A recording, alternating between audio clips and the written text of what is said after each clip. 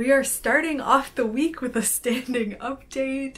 Uh, hi, I'm Liselle Sambury. I'm a very, very, very soon to be published author.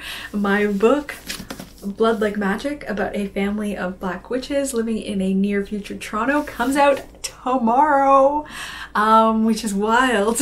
and so I thought I would document the whole debut week, um, which I think is going to be kind of interesting because for one, where I live right now is in lockdown, so I can't actually like go to a bookstore and visit my book and like sign copies and things like that. Though my friend said that she'll FaceTime me um, going to a bookstore in Toronto um, because they're not in lockdown anymore, and maybe I'll see if I can record that footage if she'll let me just like blur her out. um, so it's gonna be, I guess, kind of unconventional, but like conventional COVID wise, maybe. Um, so it's partially like my debut is happening, but at the same time, I'm also like having my regular author life. Um, so it's gonna be an interesting mix. Um, so this week, what I had planned to work on is I started a new adult horror, like as in brand new, not as in like new adult, as in like it's just a new project um, that I'm calling hashtag the newlyweds. Um, and I was gonna work on plotting that because I've been slowly plotting it. But actually, what happened, my agent just got back to me about uh, Bear Hunt, which I'm fine with saying the title of, um, which is my uh, 20, maybe 2024 book. Um, so I we are working on my proposal so because uh, Butcher Birds, I'll put my video all about Butcher Birds over here and getting that book deal. It's a two book deal, but my 2024 book is like a standalone that I haven't written yet. Um, and so we're putting together a proposal to get approval from the publisher to basically say, yeah, you can write that for your 2024 book. Um, and I just like have had that ready really early on. Um, I actually got that proposal package ready when I was on submission with Butcher Birds. So I just had it sitting and I contacted my agent and I was like, hey, can I send this to you? Because I just have it. Or like when should I send that to you? And she was like oh yeah you can send it to me right now. Apparently we can show it to the publisher whenever um so my agent just just got back to me with comments on that. Um thankfully she loves it so yay. Um because it's it's quite dark. So I was like uh, I don't know. But she really likes it, so that's great. So I have some comments on that. So I'm going to try to just like I'm not going to do any edits. I just want to answer all the comments she had because we're going to try and have a phone call about it. And so I just kind of want to go through all the things that she mentioned and kind of think about them and noodle on them and I kind of want to do that throughout the week. And I know some people are like, don't try and do other stuff on your debut week. And like, we do know if you're on this channel regularly, you know I'm a productivity hoe, you know I can't help it. But I'm not gonna try and do any of that today, and I'm certainly not gonna try and do any of that tomorrow. But like Wednesday and Thursday, I don't have anything happening. So I feel like I should be able to do it. So this vlog is also gonna document me working on the proposal for my 2024 um, horror. So that's gonna be happening. It's it's like a horror thriller. I can I not do genre blends? Apparently not. So yeah, so this week is going to be all sorts of stuff. And then I also have three events happening. So I have my launch event, um, I have my Canadian launch event, and then I have an Instagram live that I'm doing. And so it's going to be that as well. So I don't know how this vlog is going to come together. It's a little bit different, I guess, in a way from my regular writing vlogs because like my book is finally coming out. I have a book coming out, but also I'm in lockdown. so we'll see how that goes. Um, but I'm really excited. Um, very, very excited for my book to come out. It's just like, I've been waiting. I wrote the first draft of this book in November 2017. So this has been like from November 2017 in the making and I was so excited about it being out tomorrow. So yeah, I'll see you tomorrow.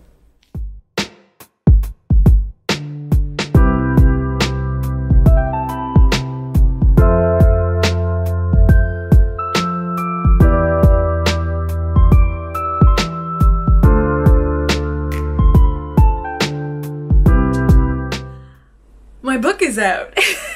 so, Blood Like Magic is out right now. I keep like pulling it up, but I have so many copies now. And so I just have so many extra copies. Um, and these I'm like so attached to. I feel like with my ARCs, I was like, I need to get rid of these. But with the hardcover, I'm like, oh, but maybe I just keep a giant stack. I won't. I will do giveaways at some point. I just can't think of doing them now because I'm like, too much is going on. But anyway, um, also let me thing my phone because of my notifications. But the book is out. it's so strange because uh, my town is in lockdown, so um, I will be going outside today because I also have my COVID, my second shot scheduled today.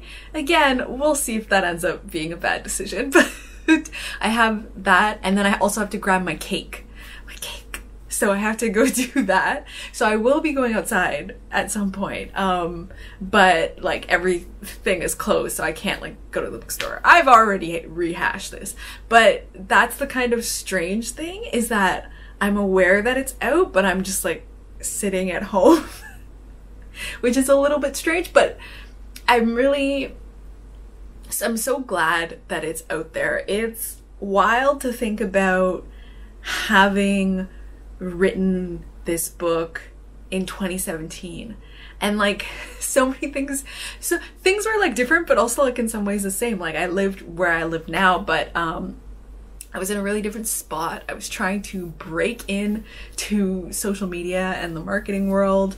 Um, I was, you know, living in this area for the first time and I was very far away from my family and because you know having a normal 9 to 5 job I couldn't really pick up and go visit for long periods of time um, and I it was really isolating at the time.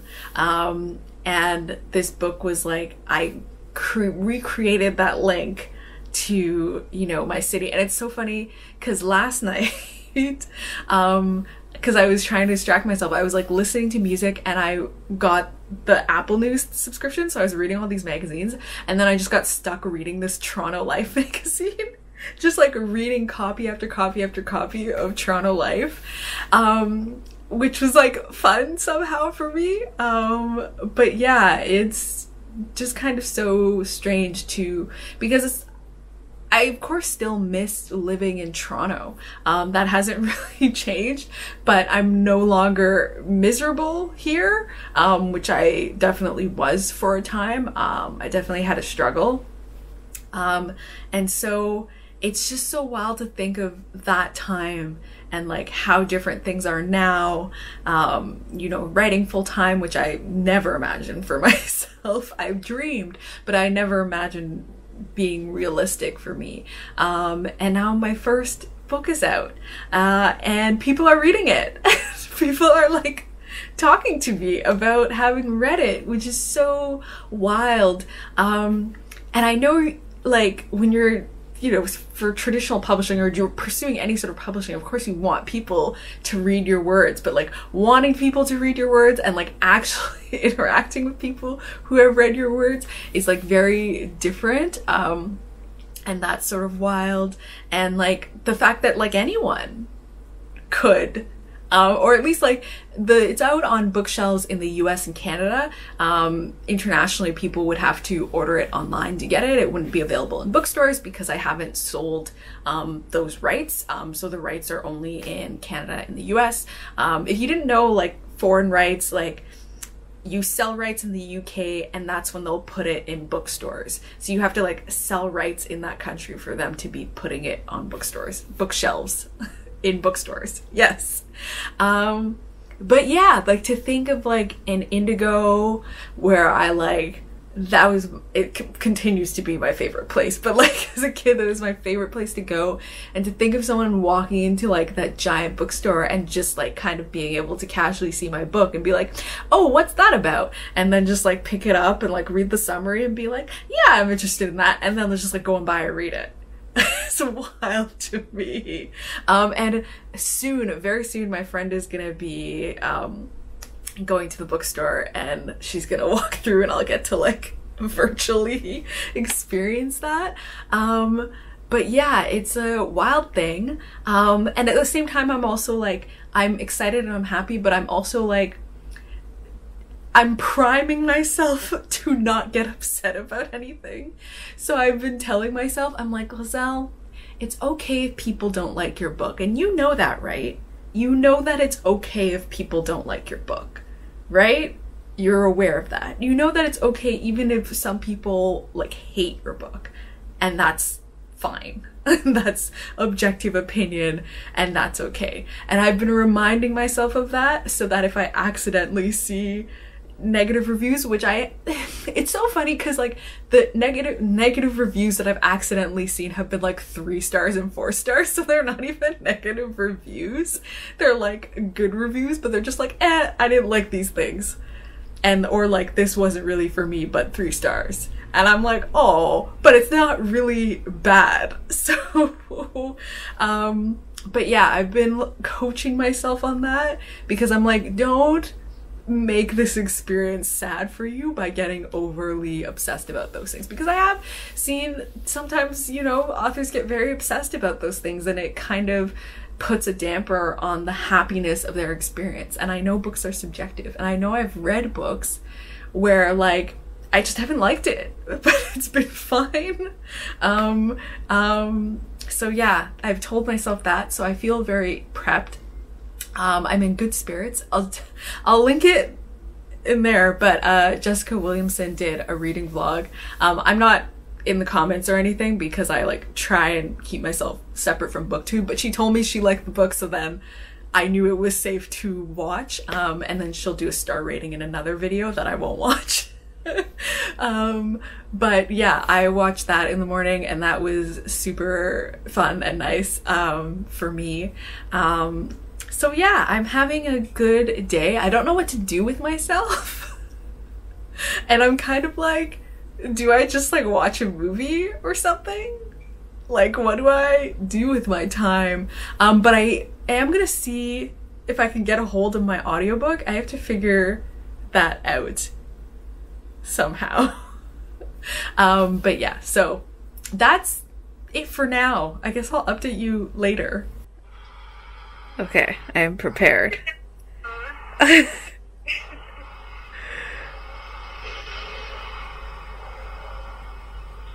is so nice now.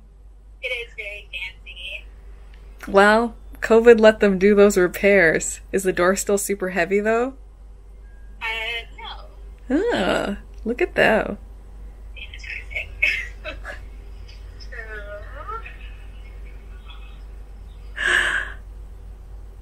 So exciting!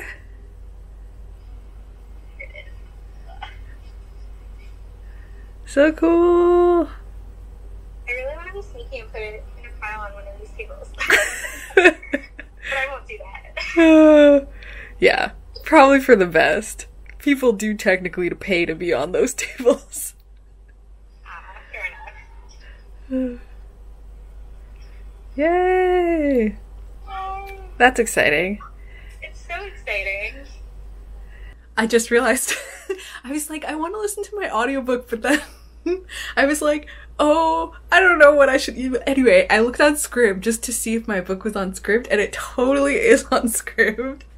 And I'm like, I'm gonna listen to the audiobook now. I don't want to get copyright infringed for my own book anyway. I'm gonna see, I'm just gonna play a little bit of the beginning. Okay, okay. Simon & Schuster Audio presents Blood Like Magic by Liselle Sambury. Read by Joniece Abbott Pratt. Chapter 1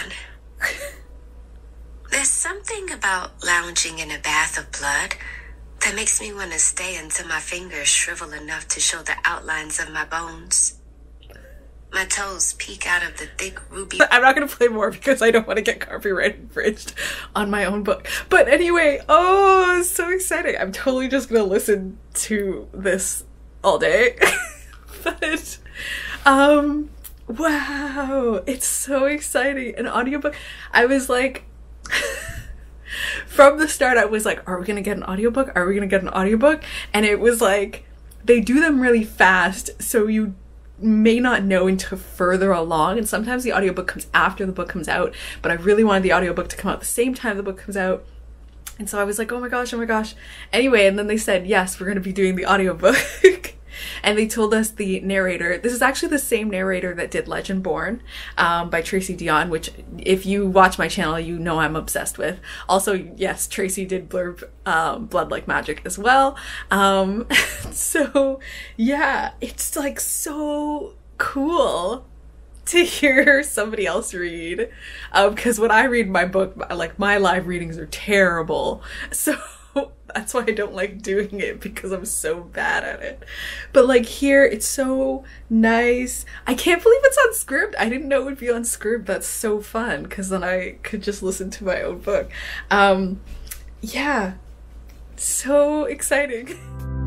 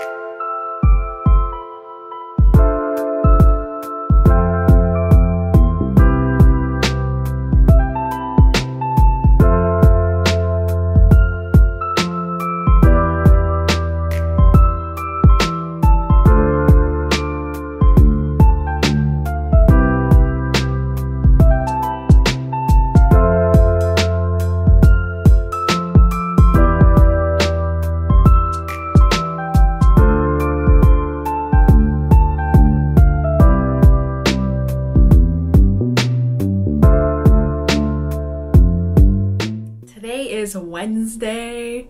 It's in the afternoon sometime. I don't know when. Uh, but it's Wednesday. So yesterday was the day after debut. Um, I woke up and I was like, so tired, super tired. And I didn't know if I was so tired because it was debut day the day before or if it was because I got my COVID shot or if it was a combination of both. But I was so tired and my arm did, it was really sore, which I knew was from the COVID shot. Um, so I just like, yesterday I took the day completely off. Um, I basically like laid in bed with my dog with Bobo and then we moved to the couch and I watched the entire season of Mayor of Eastwood um, or Eastwood? East Town. oh my gosh. Mare of Easttown on HBO which is like a it's like a small town secrets cop drama sort of thing. It stars Kate Winslet. Um, I really liked it. I thought it was so cool. I thought the twists were so good. Um, and I haven't like watched like TV shows or anything really properly for a while because I've been so focused on reading. Um, speaking of reading, I also finished The Other Black Girl today. I finished The Other Black Girl today uh, by Zakiya Dalila Harris. Um, I actually didn't have the book. This is the UK cover, by the way, but I actually didn't physically read it. I read it on audiobook um, because that's what I could focus on. but I read it on audiobook. I really liked it. I thought it was really cool. Um, so that was fun. Is that the dog coming? Oh, now you want to come inside. As soon as I hit record, now you want to walk loudly into the room. So I finished reading that today. Um, I thought that was really cool.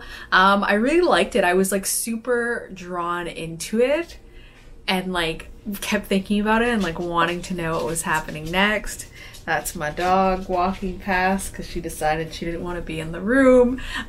Um, so that was really good. I really enjoyed that. Um, the next book I want to start uh, Hannah Whitten's For the Wolf. I have physically, I want to read that. And then also um, Elatsoe by Darcie Little Badger. Um, I have that on audio too, and I really want to read that because I really wanted to read um, a book with uh, a spectrum main character. I think she is just ace like uh, asexual main character and so i thought that would be fun so i have that up and i've heard like great things about it so i'm excited to read it so that was that was a little reading goals insert but yeah so i just did like nothing yesterday because um, I was so tired. Um, towards the end of the day, I did a little social media post to show off my cake, but that was it. But today, it's back to work day. back to it's not even really the grind and i honestly worked so little but it's back to work day um, because my agent gave me those notes like a kind of list of questions about my proposal for bear hunt which is my potential 2024 uh, young adult horror um, if it's approved. So um, i got great notes back from her on that and so we're gonna have a chat on monday. So i just wanted to go through all of the questions and just like put in all of my answers so that I know kind of what we're going to be discussing um, on the call. And I actually had a really good brainwave based on something she brought up. There's like this big. is it the crux of the novel? Not really. But there's this whole thing of like a sort of trial or a character being in like a juvenile detention center, but it's very serious charges. And so originally I'd had the character like in jail and come out of jail but then it was just like it was so fast and so my revelation was what if the trial is still ongoing um, and then they were kind of held without bail and that's why they were in the center and now they've been given the option for bail and that's why they're able to come out um, so i think that's going to work a lot better um, i've been my uh, boyfriend is a lawyer so i've also been poking him about things but it's also kind of difficult because the canadian laws are quite different from the US laws and so some things like like in Canada like trying a teen as an adult is not like a, it's not really a thing. Um, so then there are certain things that kind of have to be explained. But anyway, that was kind of a technical thing that I had to work out. Um, and then some other technical things I need to like find a way to make things clearer.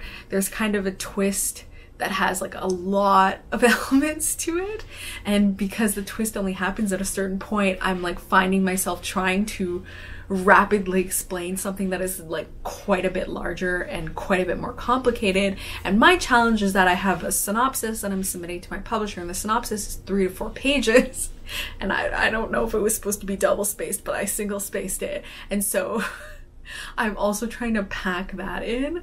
Um, and so just like discussing that with her more. And then I'm going to start those edits on the proposal next week. Um, so I just wanted to get those questions down. I thought that would take me longer, but I actually already did that today. And then I had some interview question stuff to do, so I did those today.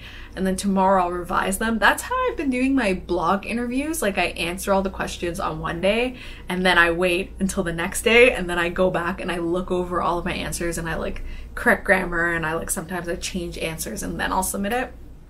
Um, so yeah, that was what I did today, and that honestly didn't take that much time at all. That took like an hour maybe.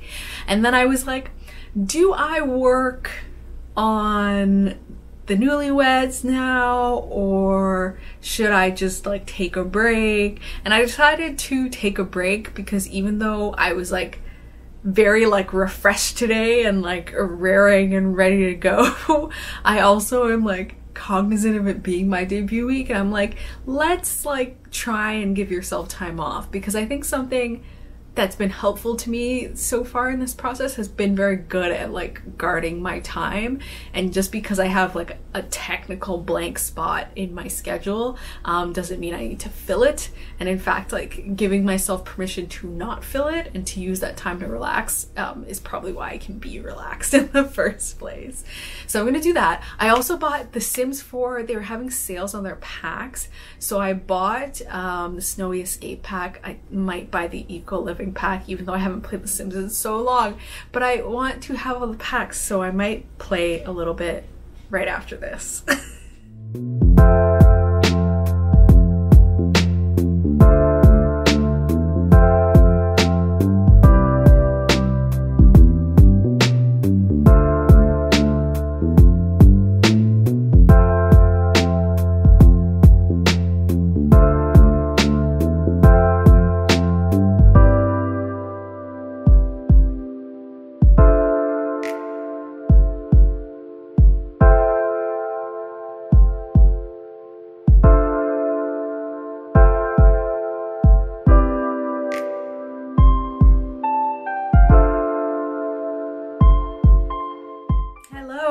and welcome to the end of debut week vlog. Um, things to catch you up on because it's been a little bit. Um, today is Sunday and I believe my last update was on Thursday. So on Friday, I did my live event with J. Elle, who's the author of Wings of Ebony. Um, that was my Canadian launch event and like my, I guess, the most formal launch event that I had, um, organized by my Canadian publisher and supported by Toronto Lit Up and the Toronto International Festival of Authors. And that was so wonderful. Um, I had a great time. I was so, so thankful to Jess for moderating and doing such an awesome job moderating. Um, yeah, it was really, really good considering that was like the one thing I was so stressed about. Um, it went really well and I was really happy with that. Are you stretching?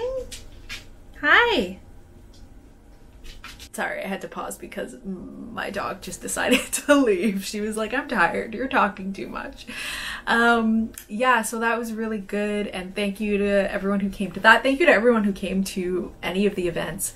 Um, and then on Saturday, I did an Instagram live event with Sasha and Sarena Nanua, um, who are the authors of Sisters of the Snake. I have all of the links for all these books down below. um, and we talked about like food and foodie stuff and like books and publishing, and that was really great. Um, I was really happy to keep it to three events. I think that was really good. Um, and yeah, and in between, uh, yeah, during the days I just kind of hung out a lot. but Saturday, which was yesterday, um, before I had done the event, uh, I did some writing sprints with some friends things have become a little bit they're not chaotic. I've organized it. I've figured things out, but for a brief moment, it was quite chaotic um, to me internally because, as I talked about before, I was working on the proposal for my 2024 book, and then my editor notes for the sequel came in, and then I had also been kind of working on the Newlyweds, which is that new, brand new adult horror. Um, so I had a lot of things going on, and then I kind of had to rebuild my calendar to figure out how I'm going to be doing everything. But what I had wanted to do on Saturday and Sunday, which is today, is I wanted to plan out all the chapters for the adult horror so that I could set it aside and that when I went back to it, I would already have all the chapters planned and I would just be writing a synopsis and then starting drafting. So yesterday I did succeed. I planned the chapters for half of the book in, in like very specific detail got half of the book planned um i'm really happy with that. I did that by doing like writing sprints with friends and got a lot done and i was really happy with that. And so today the plan was that i would continue and that i would do the other half of the in-depth chapter notes. Um but like today has been a weird day, basically hormonally. So I woke up really late. I didn't feel great in general. Um, again, not because of anything in particular, just chemically not the chemical signals between brain and hormones that was like, I'm sad. Uh, so that was kind of how that went. And then I like finally got out of bed at like 11 um, and was feeling all right, feeling better. Um, and so I decided that I needed to look more in depth at the sequel edit notes that I had gotten so that I could check in with my editor on Monday to be like, oh yeah, this deadline will work for me given what I have to do for this, or this deadline will not work for me. Um, and I looked at the notes and I just don't know what I'm going to do for half of the fixes. I just like couldn't figure out what I was supposed to do and then I like looked at some other things and I just immediately became overwhelmed and sad and I'm like I can't do anything today.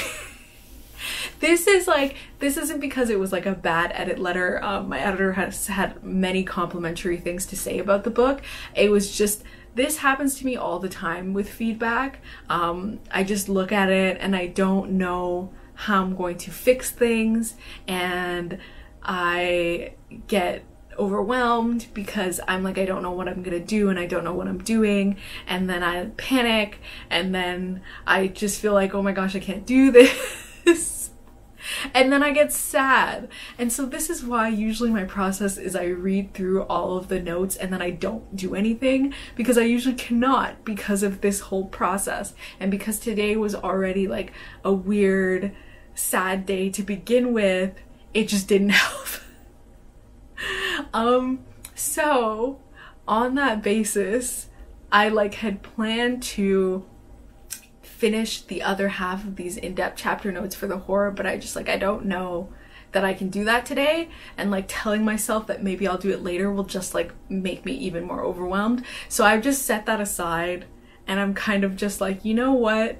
In like I think July is when I've scheduled in to like shift all of my focus to working on the horror in July, I can spend that time and that's when I can go through and I can do all of that. And it's probably for the best because then I can marinate on all my ideas. But for now, um, my project focus is solely on the sequel, which I'm going to start working on next week. Um, and so today I'm just like not gonna do anything.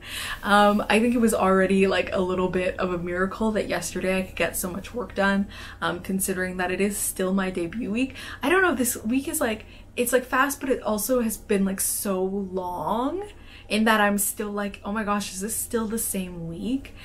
Um, and so I just need to like not do anything today and then I'll I'll just hang out and I'll like watch YouTube and movies and stuff and like find other things to do with my time and like relax because I I just know that I'm not going to get that stuff done right now with the way that I'm feeling. Um, so that's on hold. But overall, I did have a really good, really positive debut week. I know today is kind of like womp womp womp, but it's just like there's nothing there's no real reason for that. Well, yeah, there is a reason for that technically. I just told you the reason. But the reason for my mood starting off not great, there's no real reason for it. And so I'm not surprised that when I encountered a setback, I immediately became overwhelmed by it. Uh, so yeah, I'm just gonna take today off. Um, I think that's been a really good thing and a really big help this week is like having days where I just like didn't do anything um, because it was helpful to not do anything. And this is the thing I've talked about this before earlier, but like having blank spaces in your calendar and like knowing you can technically fill it but choosing not to because it helps you preserve your mental health and your energy. So yeah, um, that's what I'm going to be doing today and maybe also Monday if I need it. Um, but I do still think I'll be able to meet the deadline I've set. I think I just need more time to marinate on how I'm going to fix the things that I need to fix. Um, but yeah, I had a really good debut week. Thank you so much to people that um, came out to the launch events to support me and support the book. People who, you know, pre-ordered copies or asked their library for copies or like did word of mouth things, who like did reviews, especially like those retailer websites like Amazon and Indigo putting reviews on there does like mean something and it's really helpful. And just like all the support of the book. Um, I really appreciate it and I've been really happy about.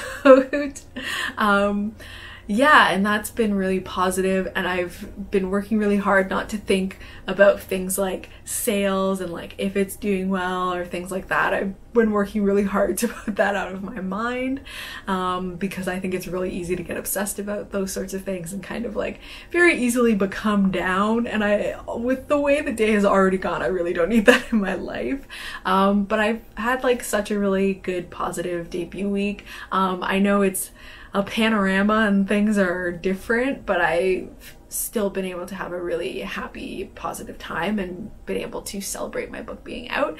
And now it's out, I could I could technically celebrate it at any time. so yeah, that's gonna be exciting. It seems like at the end of next week we're gonna be out of lockdown anyway, and I'll be able to go and see my book in stores. And um, in July I'll be making a trip to Toronto because now I'm fully vaccinated, and I'll get to seated in stores there as well. And so I'm really excited about all of that to come. And I hope that you enjoyed this debut vlog. It was only a week, but I feel like this video is to be so long because it was a lot of things to chat about and I always chat for too long anyway but hopefully you've enjoyed this um, and yeah I guess my next vlogs will be me working on my sequel. Um, if this is your first time on my channel welcome. I post on Tuesdays usually. Sometimes I post the on Friday video, but all about my journey as a traditionally published author and like sometimes advice stuff about publishing and writing and sometimes just like random videos. So uh, if you're here for that, uh, you can subscribe down below and I hope that you will if you haven't already and that if you like this video, you'll give it a thumbs up. Um, and yeah, thank you so much for watching and for joining me on debut week. My book is now out. I forgot to mention this and I haven't done a special video for it or anything just because things have been like busy, but on June 25th it's gonna be my youtube anniversary. My youtube i've said that so weird. It's gonna be my youtube anniversary. Um so the week that this is being posted the friday of that week i'll have been on youtube for two years which is really exciting. Um but yeah thank you so much for joining me. Bye